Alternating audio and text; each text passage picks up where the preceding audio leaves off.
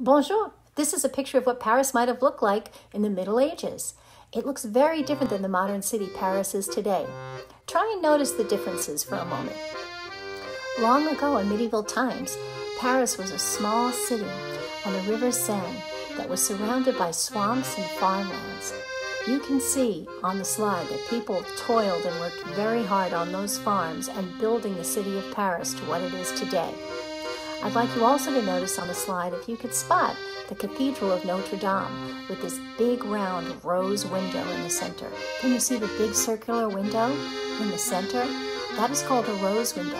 It's made out of beautiful stained glass panels held together with iron braces. The painted panels of stained glass are shaped like flower petals, hence the name rose window.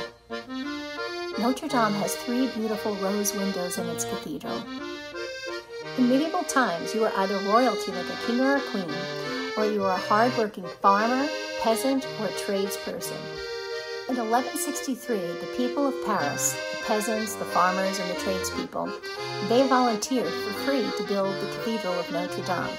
If you can imagine, back at that time, there were no construction materials. There were no cranes, there were no construction trucks and the people of Paris began to build the cathedral by hand. Farmers, tradespeople, and peasants joined together to dig 30-foot trenches in the swamp to stabilize the cathedral. Then they transported stones up the River Seine, carried them up through the swamp, hoisted them up over 200 feet to form what is now the bell towers on the front of the cathedral.